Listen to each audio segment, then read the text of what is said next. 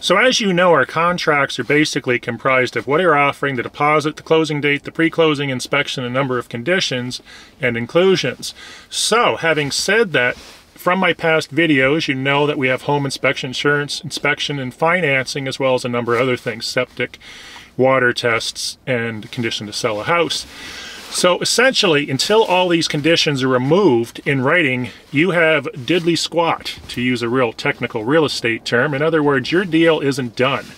So do not go out, start buying cars, locking yourself into leases for houses or apartments. Do not do anything until the deal is 100% firm within the time delineation spelt out in the contract. If you find the delineation of time say between the home inspection and the closing date is too tight, then don't agree to the contract to begin with.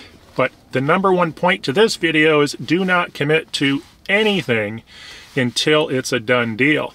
Additionally, as a side note, make sure that deposit is something fairly significant there, therefore, if the purchaser does walk on closing date day, which is fairly rare, at least you're left with something. Better to have ten or twenty or fifty thousand dollars in your pocket than fifteen hundred dollars. Probably won't even cover the moving truck.